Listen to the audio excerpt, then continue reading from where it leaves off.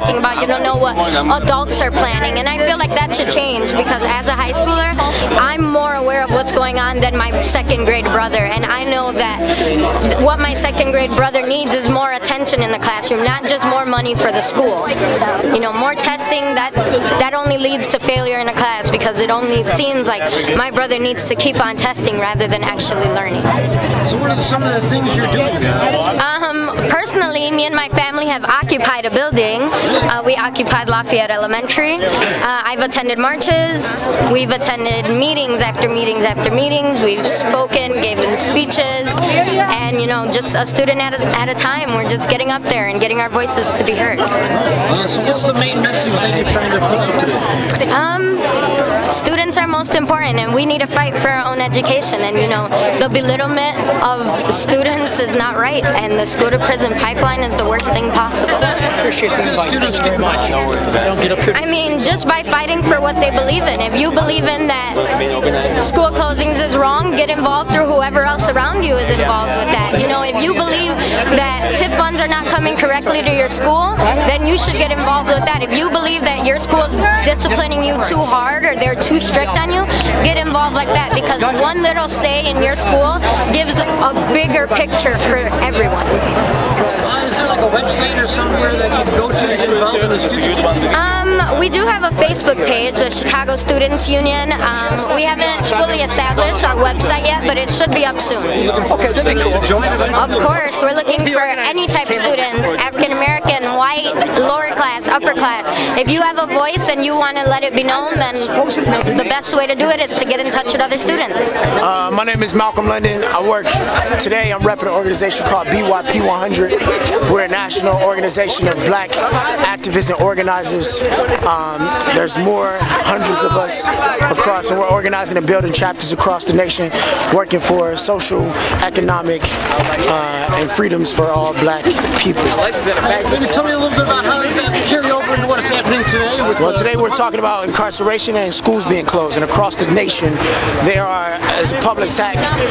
There's an attack on public education, which public education does. Uh, a lot of black youth are in public education, particularly in Chicago, uh, and we're talking about incarceration. And what is very true is that there's an overrepresentation of black bodies in the prison system, unjustly and unfairly. And so um, that correlates to our mission to see freedom for all people who look like me. And so uh, that's why we're here and that's why we're organizing. Uh, what are you looking to achieve? Like, what are some of the solutions or problems? I think I think there's many answers and many solutions, and I think without people coming together, we won't get to any of those. Um, I think the first step though is to recognize and to educate people on what is happening, and that black people, as particularly black youth, are not just criminals and are not just not going to school, but that there is a plan and a design to keep them incarcerated and to keep their schools closed and or owned by corporate. What can people do to kind of get involved take action? First thing you can do is go to projectnia.org. They just released a, a, a um, report on Illinois prisons. Uh, all the information you need to know is there. And I would also say follow BYP100 on Twitter um, just to get the information. Without the information, we're all just blind. Uh, that's the first step. And there's going to be, this is the anniversary of Freedom Summer. And this summer, BYP and many of the organizations here will be doing a lot of work, a lot of actions, a lot of tangible stuff to uh, get to the source and the root cause of the problem that is mass incarceration. Probably, probably one of the, the best ways I've heard Thanks. Yeah, no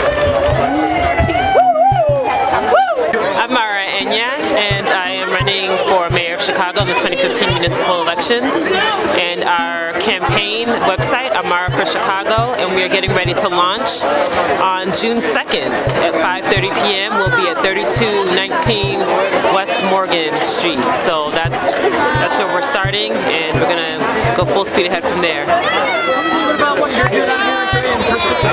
I'm actually here supporting uh, a lot of colleagues, friends. Uh, I'm very big on restorative justice, and so a lot of what we talked about today was about the experiences that our young people have with the justice system. Uh, we're standing behind the Juvenile Detention Center, where unfortunately a lot of our talent is um, locked up behind bars.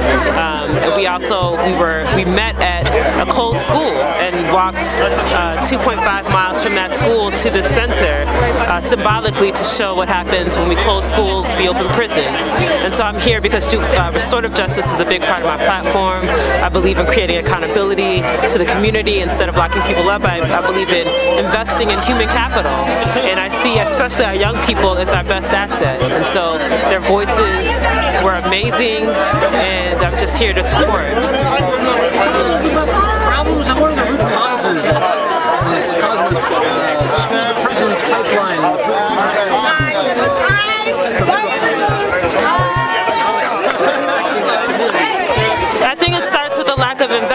We have to invest in our young people and invest in human capital. That means we invest in our schools. That means we are not closing schools. It means that we invest in programs for young people.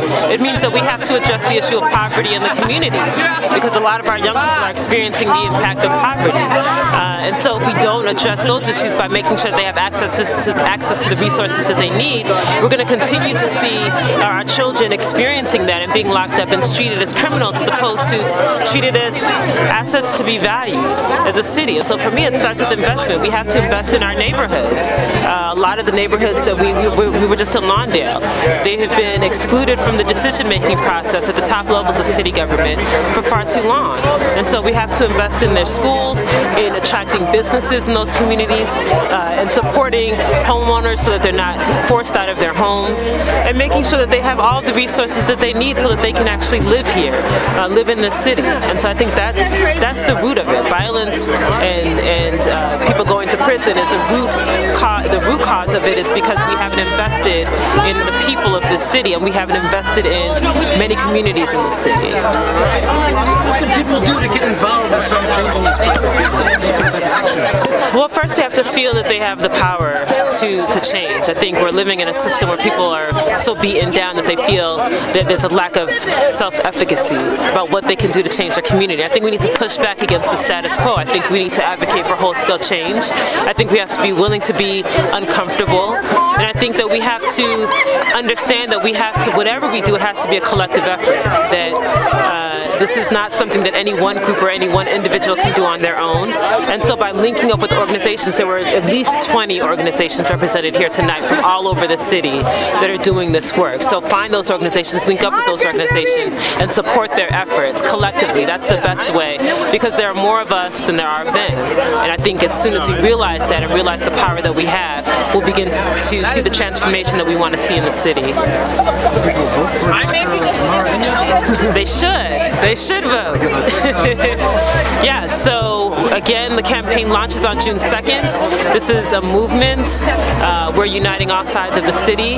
If you go to the website amaraforchicago.com, we're also on Facebook, Twitter, Instagram. You can follow the campaign, spread the word, tell people this is the time. We cannot afford to wait. Uh, we have to act now to make sure that we are that we have enough people that are supporting this transformative movement in Chicago. And so we've got to act now and, and hopefully everyone wakes up. Now's the time. My name is Darius Lightfoot, and I am a youth organizer with Fly, Fearless Leading by the Youth, based on the southeast side, and we have been advocating for juvenile justice since 2007. We have been fighting to reform this place right here since 2007. We have been fighting to shut this place down since 2010. Everything is a movement. Everything has a plan, and we have a future. But they don't believe that. They do not believe that we have a future. They believe that we deserve to be locked up.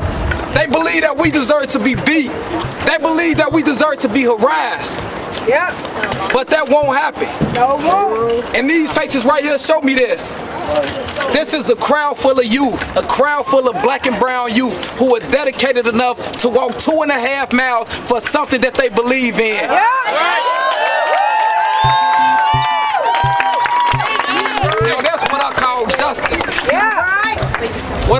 Justice is 100 youth holding signs, chanting, fighting.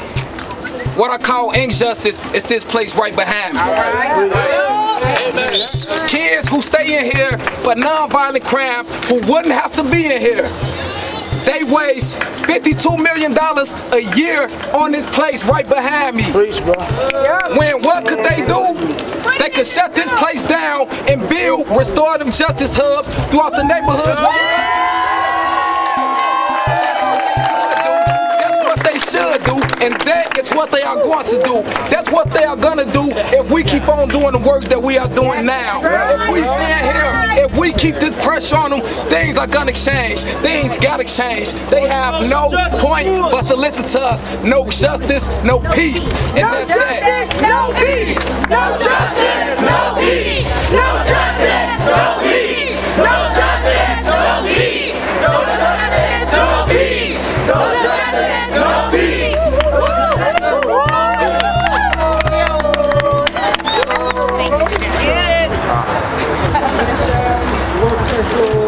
gonna, stay on schedule. So I want to introduce Evan Open of Circles and Ciphers.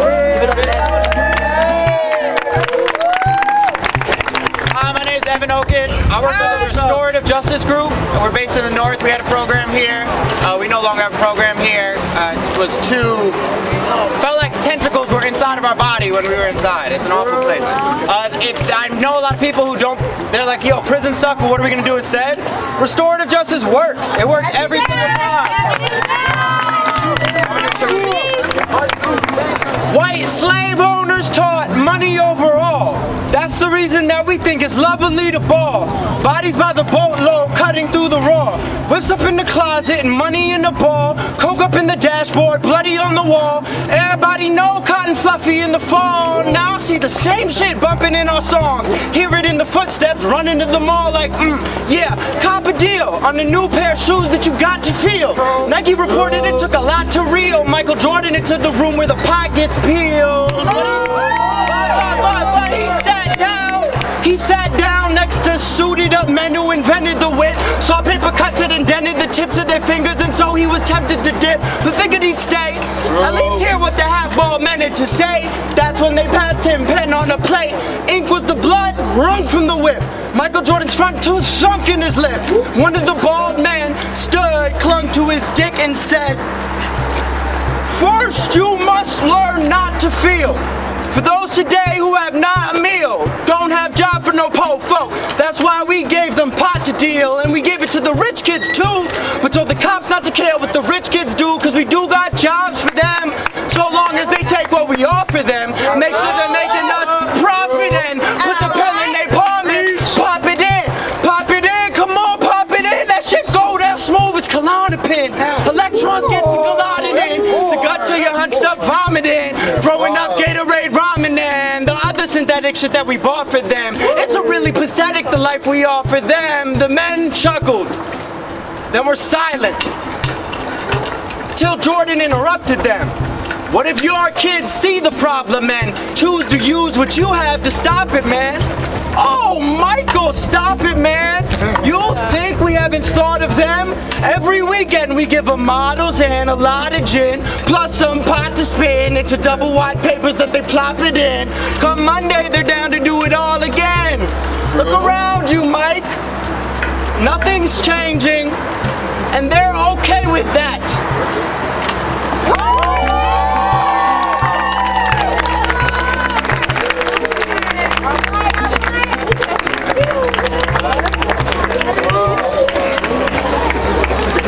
We got here representing the Black Youth Project, John A. Strong.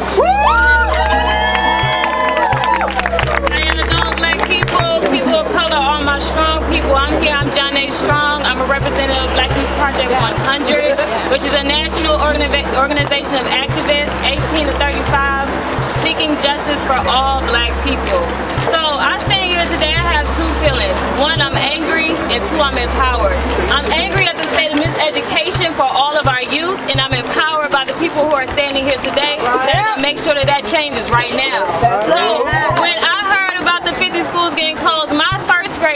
six-year-old black girl, she asked me, why is the white people town better than Chicago? So not only did she ask why is it better, but she thought that where people live on the north side is a whole nother city because that's how they treat our communities. They make sure they close down all our community institutions, our schools. There's still no uh, trauma center on the south side, our mental institutions, anything that's for the betterment of us, they make sure we tear it down. But the reason I say that I feel empowered is because we're all here today. And I know that we all have a vision. So I'm still a teacher, I'm a student, I'm an activist, and I'm a proud mother of three children, three black boys. But what I have to say is what I told my third graders last week. I asked them, we were talking about environments and organisms. I said, I want you to look at your community. Instead of looking at giraffes and places that we haven't been, think about your living community and think about an adaptation that we can make to make our communities sustainable for all people. And so if you think that you're smarter than a third grader, then I ask you to make an adaptation, build in with some groups like BYP 100, Project NIA, other people who are here today, and figure out how we can make these changes happen while we build power the same time.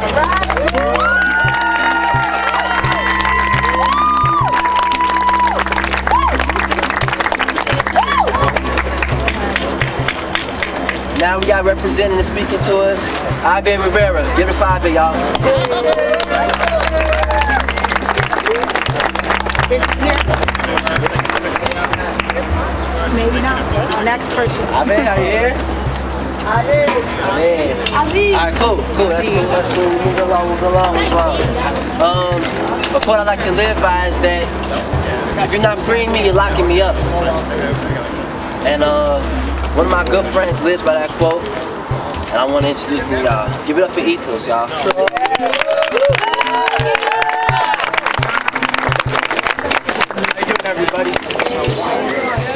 Name's Ethan Viets-VanLear, and I come here today with a very heavy heart. I don't come here just with a heavy heart because we walked from one of the 50 schools that was shut down. I, I don't just have a heavy heart because while we were walking here, these police officers were following us the whole way, trying to protect protect this city. I don't come with only a heavy heart because we stand in front of this building that how that is locking youth behind fucking bars in cages. Excuse my French, in cages. I come here with a heavy heart also because I just came back from Northwestern Hospital downtown where my friend is sitting in a coma from a police officer. Sitting in a coma from a police officer. And I, I sat there in Northwestern, I looked around and I look at this building and I see all the money we flood into this building, we flood into these hospitals. And I, and I was thinking the only time we give young people of color money is when we lock them up or when they already are shot or or in critical condition. And, and thinking all this, I was thinking we can't rely on these institutions any longer to support us. We have to rely on each other. These corporate agendas will never have our agenda in heart. That's right. And we live in this stronghold in this city, in this country that has a grip on the whole world. We're in we're in Babylon and we're walking around the dungeons. Yeah. By the time I feel like I'm in a dungeon. Like I was born in a dungeon, locked in a cage, born to be angry, chock full of rage. Ethan, why are you so angry? The three white adults asked, nah, yelled as they passed me and the only other black angry student as we sat in chairs outside of the classrooms we were just kicked out of. On handcuffs of the streets that apparently we weren't allowed on, but we were never going to leave. I was born by my mother, bred by a father who didn't know his father, who didn't know his father, who didn't know his father, whose father was a slave. My lineage is pockmarked with needle holes and whiplashes. A long line of black men beaten down until they almost became that three-fifths of a man bullshit they've told us since our measly existence in this country. But I was born to get locked up, to die in the cage. They made my prison cell beds in third grade when I missed too many test scores and got bad grades due to sitting outside of classrooms I was just kicked out of. On handcuffs on the streets that I was never going to leave. You see, the first arrest was scary, but the rest after that were almost routine. The handcuffs custom fit to my wrists. But I was born in a dungeon where no light can seep through where people tend to stare, but nobody really sees you. I was born off the red line, in a red line community, where dailies don't come through, and Rahm cut out schooling. I was born by the river with my head held underwater, floating face first in drugs, liquor, and all these brothers trying to stay up by putting down daughters. Self-medicating trauma-inflicted victims of this city. Gang, child soldiers and sex workers masqueraded as gangbangers and bust downs, forced to sit and watch their own genocide, mass incarceration in slow motion. So of course we're burying our brains with chemicals, trying to drown out the pain in our hearts and the horror of the streets and the screaming of our mouths and the police up the block that got a vendetta on every black boy child. The perpetrators of this fabricated peace we apparently disturbed. I was born on the gutter, handcuffed on the curb. I was born in a dungeon, medicated and shackled, smothered so I couldn't shriek, shucked of my shell and left to dry. I was born in a city that never sleeps, and I've looked sleep's cousin in the eye. I was born in a dungeon, in a cage, by a father who was a slave. I was born where there's no light, near a train, on a river, filled with drugs, medications, and liquor. I was born in a hoodie. I hope I don't die in one too. I was born in a dungeon. I hope I don't die in one too.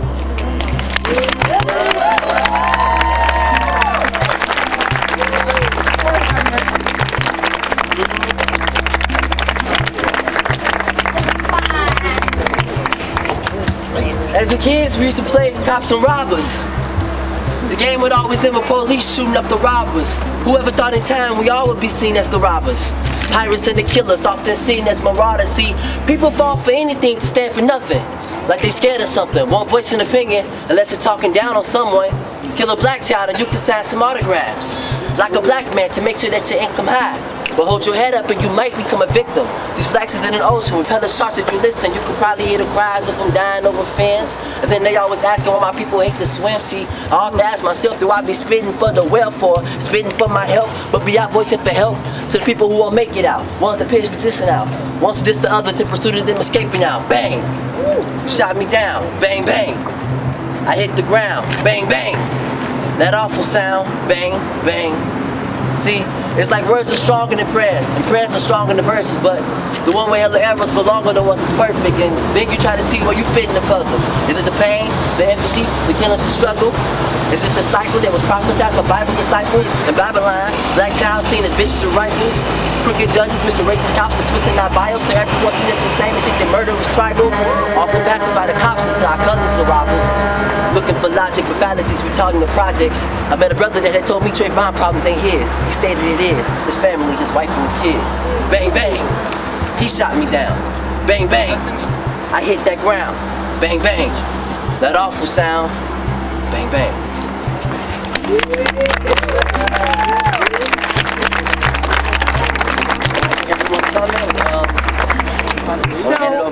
Yes, hi. So I'm just, um, I'm overwhelmed by the amazing talent, the amazing beauty of our young people. And I think you saw that and you've been seeing that, right? And all of the amazing talent that's locked behind these walls, talent that we're missing, Yeah.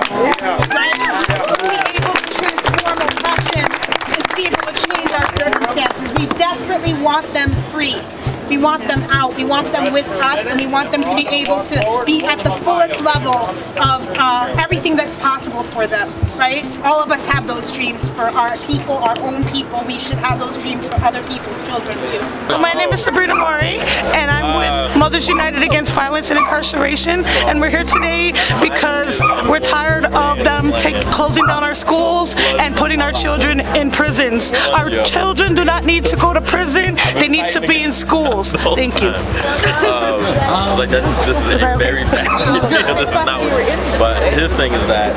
I don't like talking Tell me, what, what's, what got you involved? What's what problems that kind of Well, what got me involved is that, you know, ever since I've been a little kid, I've been seeing, you know, our children. Me personally, I've been incarcerated. Some of my friends have been incarcerated, and it's not a good place to be. And instead of incarcerating our youth, we should be helping them to get an education and not doing stuff that prison is no place for no children or no adult.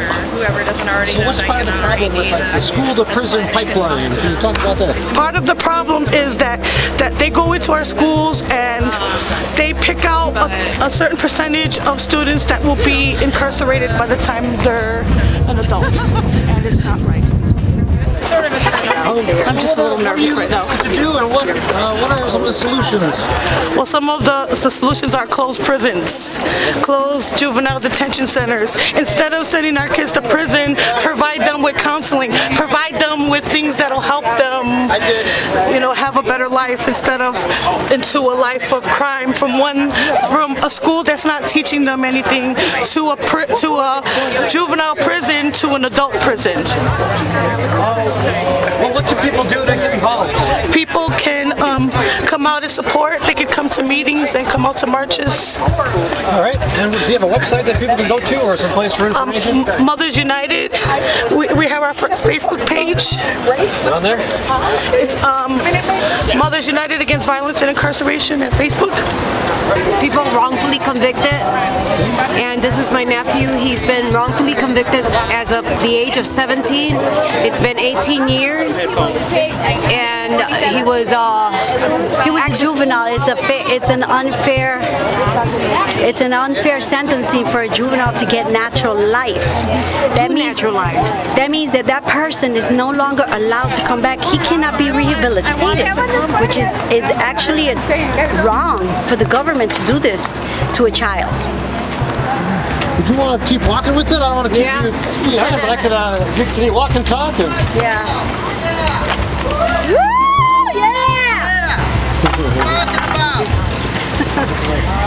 But um, my son was wrongfully convicted and sentenced to two natural lives for a crime that he did not commit.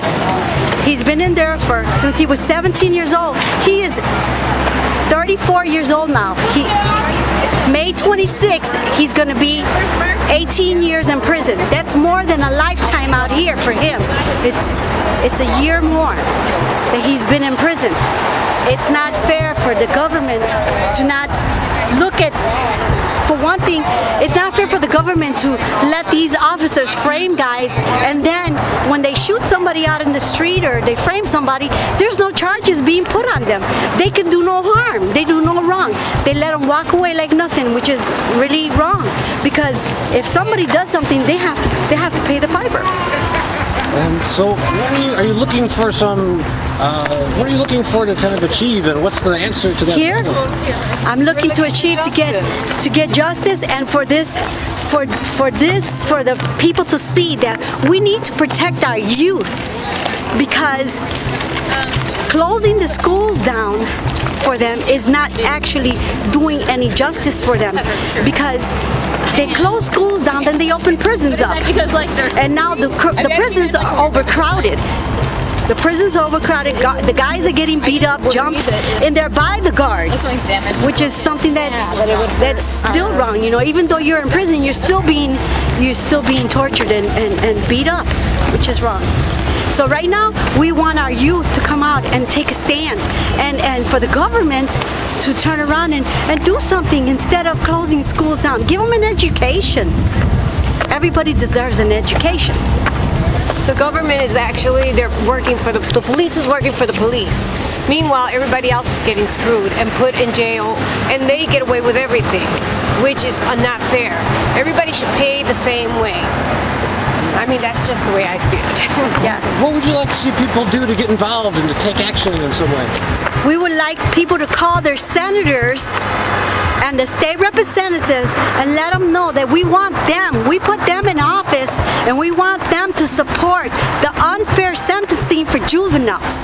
Unfair sentencing for juveniles, which is a juvenile shouldn't get 50 years in prison. They should bring that, resentence them and give them a new, a new sentence date to come home because it's it's a harsh sentence.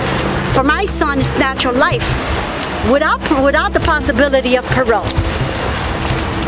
They should have a chance at living life itself. Because they're kids anyway, and they're putting them in there for life, so what life are they really living? Right. Give them an opportunity to come home. and try to live a normal life, which is going to be hard to live a normal life since they come out, they send them out without no counseling.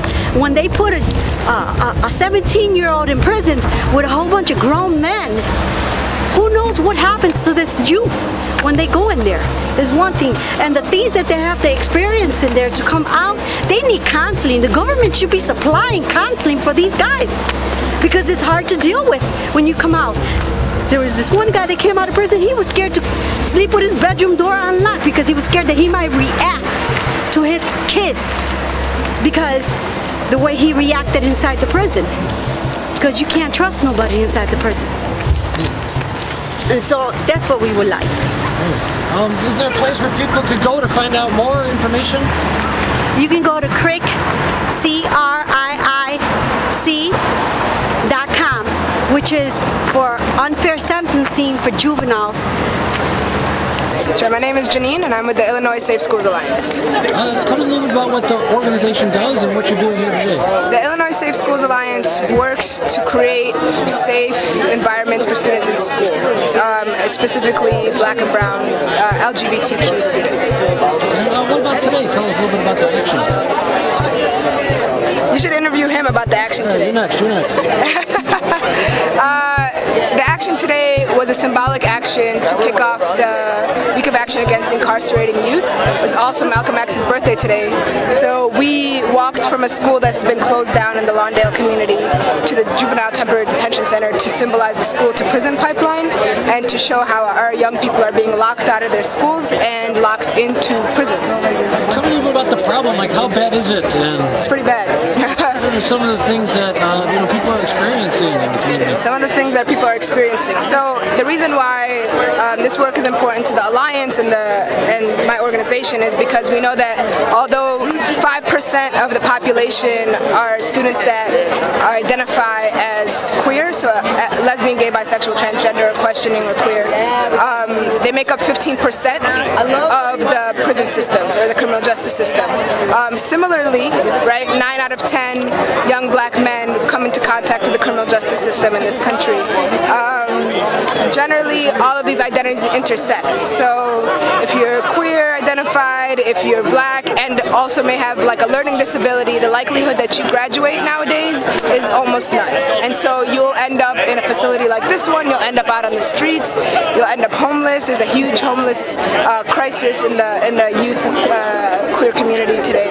So we're out here right now saying that this is important to us. This is we need to take the millions of dollars that are invested in this prison system and invest it back into our children, their education. Right? There, there are schools in Chicago that their physical education is an online course. There are things that defy logic, and so today we're saying this needs we need to be logical about the way that we treat our children, and we need to invest in our future and the, right now. Right? So that's that's why we're here today.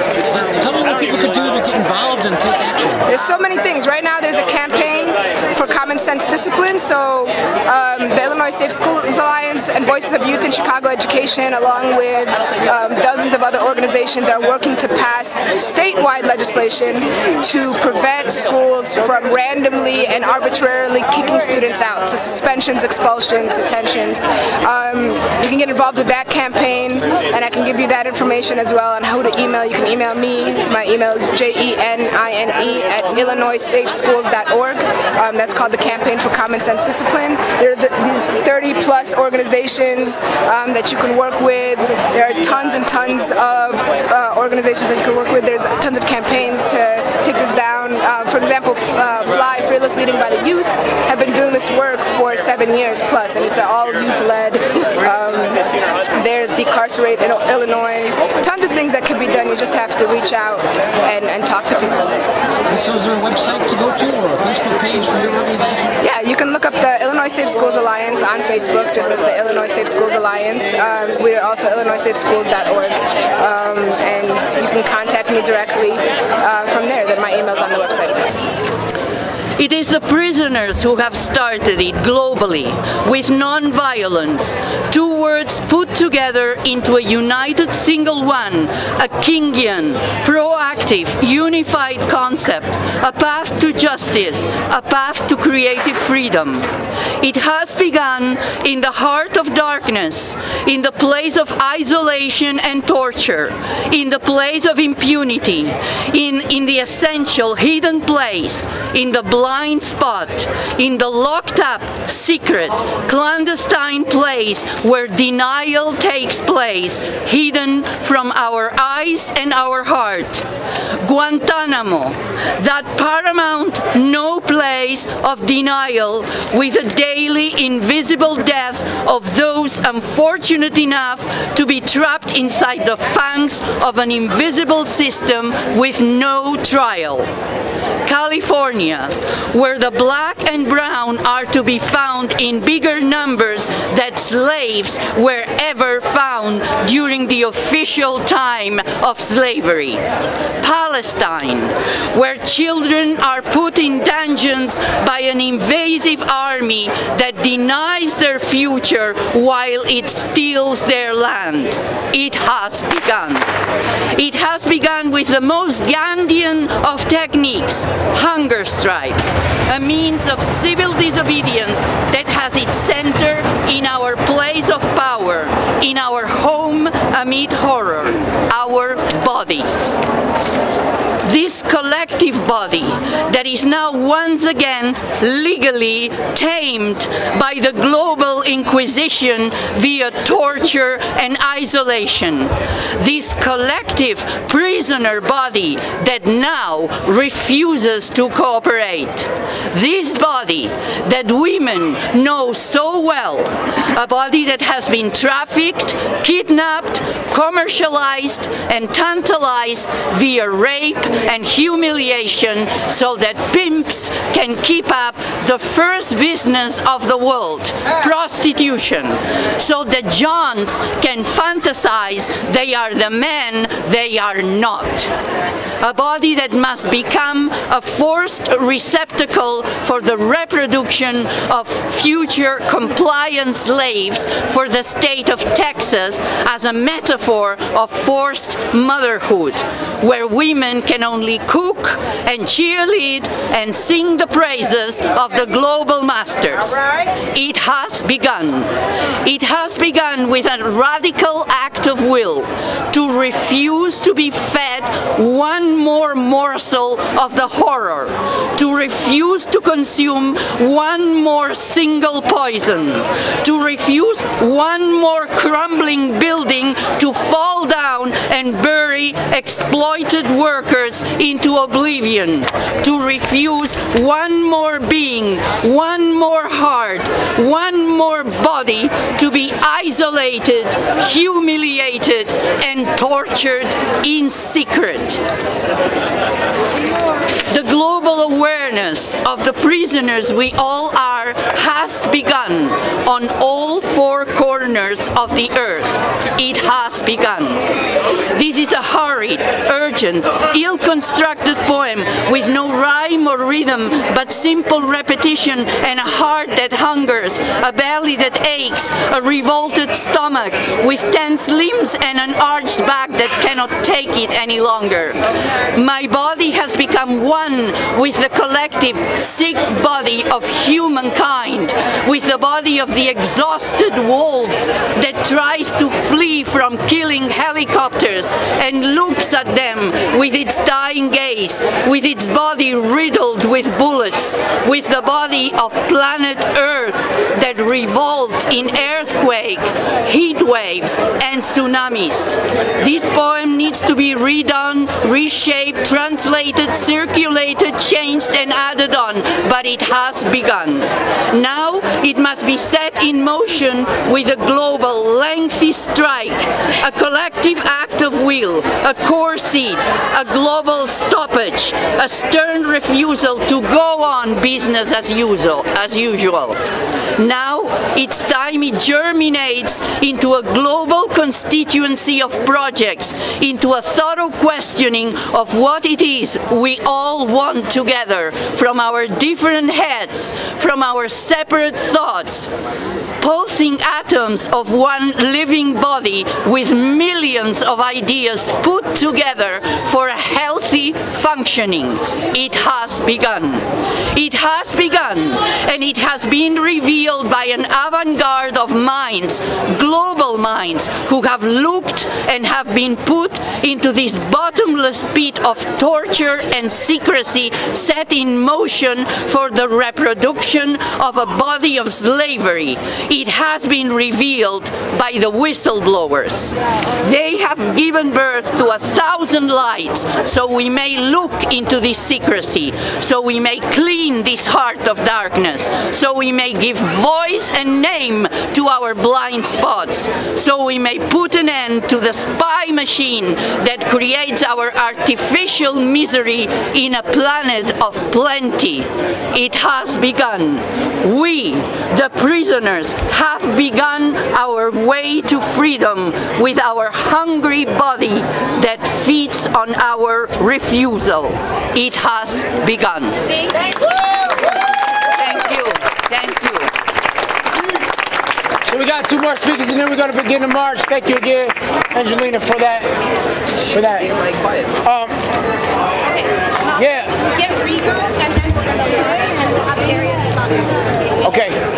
All right. Uh, please, y'all, show some love to Rigo from the International Socialist Organization. Okay. Um, okay. So I'm Rigo and I'm 25 years old. I grew up in the southwest of Chicago um, and I went to CPS for both elementary school and high school. And too many times the lines were blurred between a school and a prison. We had to be humiliated once in a while with surprise uh, searches when we were walking into school. And many times, uh, many of our classmates did not come back from a weekend. They were either shot or arrested. And too many times, um, I've been, I'm 25 now and I've been to more funerals or welcome back parties than I've been to uh, college graduations in the last six years. And then what's even more shameful is that people like Barack Obama go on TV and they blame us for our quote unquote values. But what about their values? They deported two millions of our brothers, sisters, mothers, and parents. What are we supposed to do after they deport them? And what are we supposed to do when his administration is the one that's closing down all our schools and spending trillions of dollars killing our Palestinian, Afghani, and Iraqi brothers and sisters? His administration saying that we are not good enough for the education that they are giving their children and their um, and whatever um, and whoever else. Okay, but I want to also say that um, okay, that's pretty much all I really had to say. I just had and then um, this is not an accident or a byproduct. And I also oh yeah, I wanted to make an argument to say that these chains are not only the chains that they are locking us up with. These are still the same chains that they locked up our ancestors in slavery. And not until we break those chains will we actually live in a free society and it's a part of the system. They are just adapting to it in new ways. It may not be uh, Jim Crow anymore, but it's definitely the prison industrial complex and we need to tear it down and the whole system has to go with it because this system operates on racism. It is more profitable for them to have more prisons open, for-profit systems open. They have no shame. They are locking up 14-year-olds, 12-year-olds and, and, throwing away the key. And we need to yes. say that th these are our children. Um, and I don't mean any disrespect to the uh, 200 uh, schoolgirls that were kidnapped in Africa, but our children are also being kidnapped and we need to save our kids. We need them to return our kids too. All right. The only cutting in line students fear is from their district's budget. We are blaming public schools for being stumped without looking at the root causes. Since the third grade, we're fed the illusion we have multiple choices. But when an unelected board closes schools in black and brown neighborhoods for the past decade, it is from a new lumber we are hanging by a thread sewn around our necks. What choices are we given then? Except to become pendants of freedom too. A closed school means a door may block our entrance, but our people were born at the exit. And we stand and we fight and we organize even after tested by people who control our schools, who have never been inside them, who will never send their children there because we have numbers too. For our schools are pillars, not to be pillaged for capital gain. For our choice will not be determined by a Scantron or by politicians who make squad cars out of school buses or developers who displace communities cloaked in an urban renewal banner or taken away by a board of education unveiling its splinters. Word. So I want to remind folks again as we march, please stay on the sidewalks. We do not have an actual permit. I mean, you know, the people shouldn't need a permit to be on their own streets, but we don't have a permit, and so we got to stay close together when we march. Um, I want to do this chant, but I still need Miriam to uh, tell me what's happening next. But as we wait, there she is. Janine, again. I got you. Oh, you're doing this. You're doing the action piece. Yes. All right, can I do this? Can I got you. All right, this chant. I love this chant. Uh, so just repeat after me. Mama, mama, can't you see? Mama, mama, can't you see? What the law has done to me? What the law has done to me? Ain't no use in looking down. Ain't no use in looking down. Ain't no justice on the ground. Ain't no justice on the ground. Mama, mama, can't you see? Mama, mama, can't you see? What city's done to me? What the city's done to me? Ain't no use in looking down. Ain't no use in looking down. Ain't no freedom on the ground. Ain't no freedom on the ground. Mama, mama, can't you see? Mama, mama, can't you see? What the law has done to me? What the law has done to me? Ain't no use in looking down. Ain't no use in looking down. Ain't no justice on the ground. Ain't no justice on the ground. Thank you. We're gonna bring back Janine. We're gonna do this.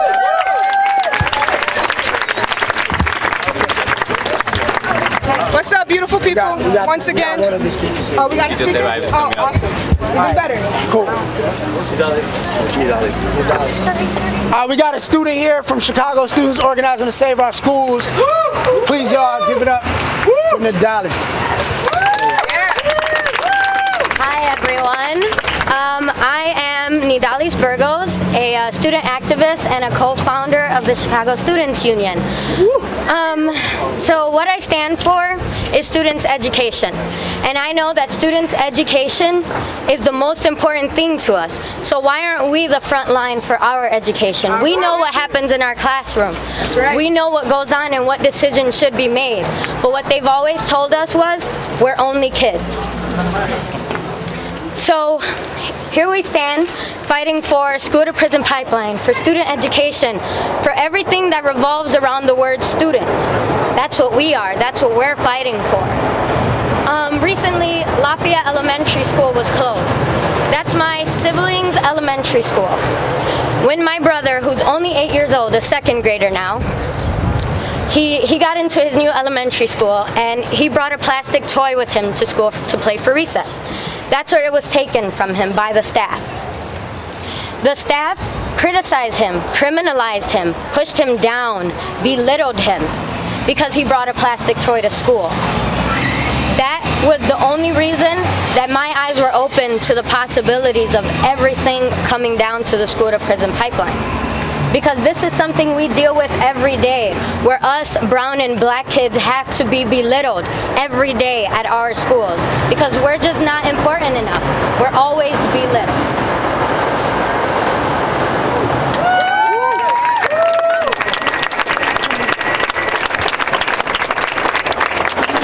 Part of today's action, we are going to symbolize being locked out very physically and literally from schools and being pushed into and locked up in prisons.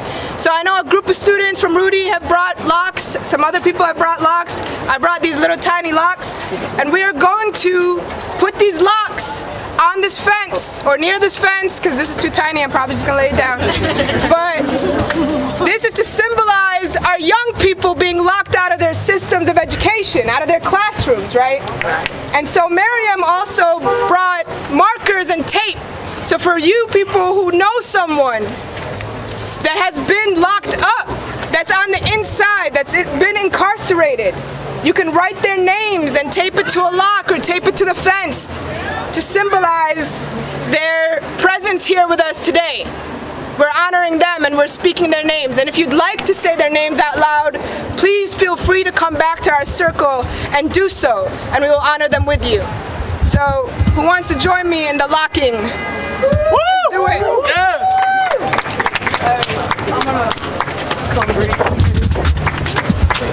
It's not fish lay on there.